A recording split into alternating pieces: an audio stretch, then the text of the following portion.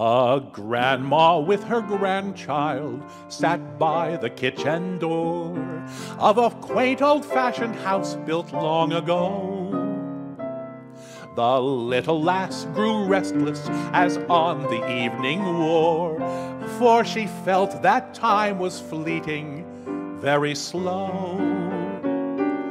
I must do something, cried the girl, and seized a nearby spade. But a passing stranger blocked her swing, while these wise words he said. Oh, never hit your grandma with a shovel.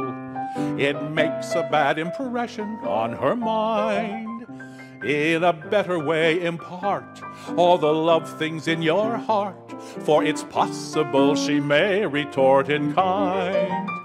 Remember, Granny's known you since a baby, and even though in fun could prove a shock, so respect that aged head. Stay the shovel and instead paste your dear old sweet old grandma with a rock.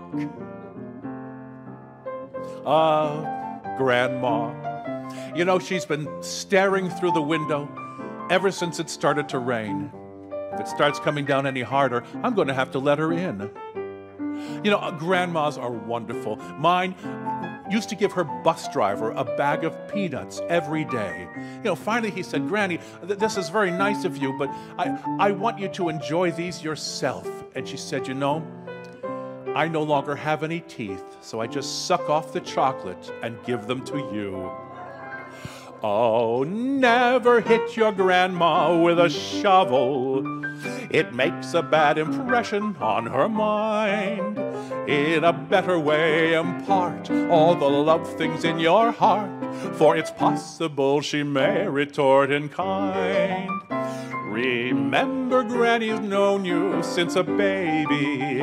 And even though in fun could prove a shock, prove a shock.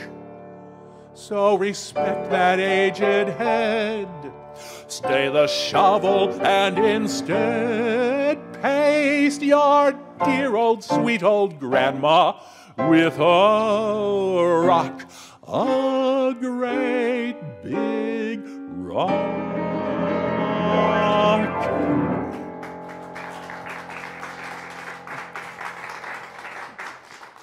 What are you clapping for? That was awful.